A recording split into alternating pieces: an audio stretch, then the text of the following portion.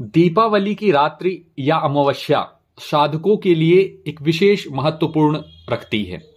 इस दिन सभी साधक अपनी साधनाओं को जागृत करते हैं खास तौर पर तंत्र मंत्र क्रिया करने वाले लोग। तो यह विशेष कैसे रहती है?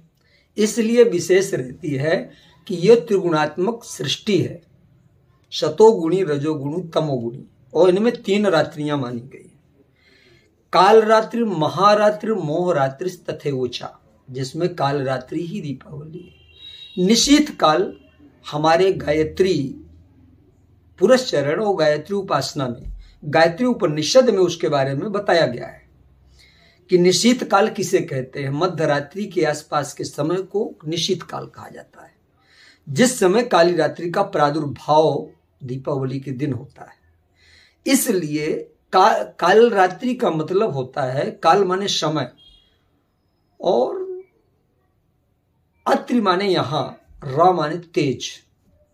जो तेज है यहाँ पर काल समय का, वो वहाँ पर उस दिन प्रचुर मात्रा में दे दीप्यमान होता है उस रात्रि को निशीत काल में। इसलिए साधक लोग मंत्र, यंत्र और तंत्र की जागृति के लिए हमेशा ही उस समय का इंतज़ार निशीत काल का इंतज़ार करते माँ काल रात्रि के प्रादुर्भाव के समय का। और उसी समय सारी जागृतियाँ होती है।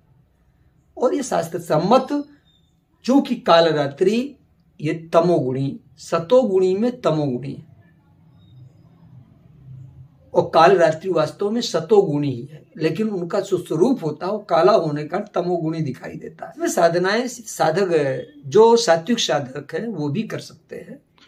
गायत्री इत्यादि की उपासना करके माँ भगवती के नवाड मंत्र का, या ह्रीम या ऐम या क्लीम या ह्लीम ये मूल बीज मंत्र है। इन बीज मंत्रों में से किसी का भी एक को इतने बार वो जप करके हवन कर दे, क्योंकि उस दिन विशेष मानता प्रकाश से परिपूर्ण होती है। तो ये मंत्र जितने भी बार पढ़े जाएँगे, वो सहस्र गुना होंगे। एक बार का मतलब सौ गुना। यदि एक माला कर दिया गया तो लाख जप का फल प्राप्त होगा और उस रात्रि, निश्चित काल में, और उसका दशांश हवन दस बार करने पर हज़ार आहुति का फल होगा, इसलिए सिद्ध होंगे। और इससे उसके अन्न कार वो ऊर्जा उसकी रक्षा करेगी और अन्न की भी रक्षा कर पाने में समर्थ होगी।